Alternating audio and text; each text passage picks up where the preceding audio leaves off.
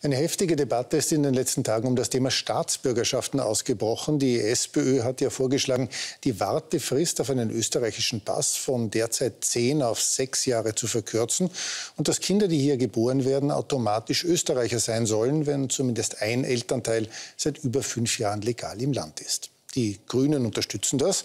FPÖ und ÖVP lehnen die Erleichterungen vehement ab. Die linken Parteien würden so die Mehrheitsverhältnisse im Land ändern wollen, hat ÖVP-Chef äh, ÖVP-Clubchef Wöginger heute behauptet. Tatsache ist jedenfalls, dass immer mehr Menschen in Österreich leben, die keine Staatsbürger sind, wie Peter Babuzki berichtet.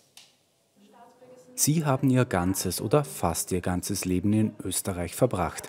Österreichische Staatsbürger sind sie aber trotzdem nicht. Hier in einem Jugendtreff in Wien vernetzen sich junge Erwachsene wie Santos Bad.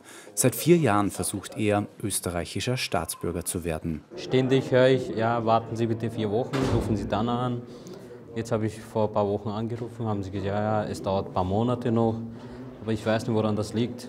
Auch die in Österreich geborene Ebro Sokolova hat schwer Nachvollziehbares erlebt, etwa als von ihr ein Deutschnachweis verlangt wurde. Ich glaube kaum, dass es schwer zu merken war, dass ich der deutschen Sprache mächtig bin.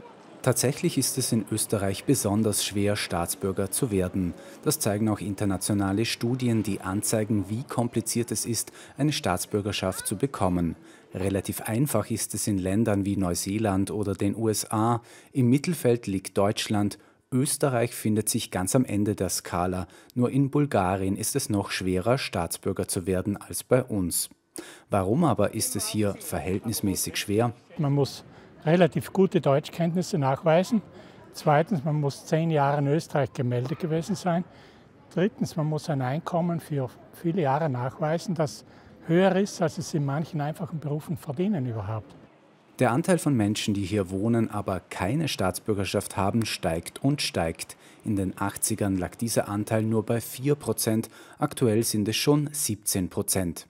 Diese 17 Prozent dürfen aber auch nicht wählen, ein demokratisches Problem, sagen Kritiker. Ich fühle mich definitiv ausgeschlossen, einfach aufgrund dessen, dass meine Stimme und meine Interessen nirgendwo vertreten werden können, weil ich auch nicht das Recht habe, dass ich sie irgendwo zur Schau trage im Sinne von Wahlen. Ich würde schon gerne wählen. So eine Zeit lang hatte ich keine Interesse, weil ich war beschäftigt mit Arbeit und so alles.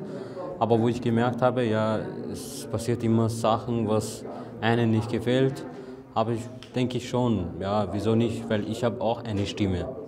Santos Bad will es auch deshalb weiter versuchen, die österreichische Staatsbürgerschaft doch noch zu bekommen.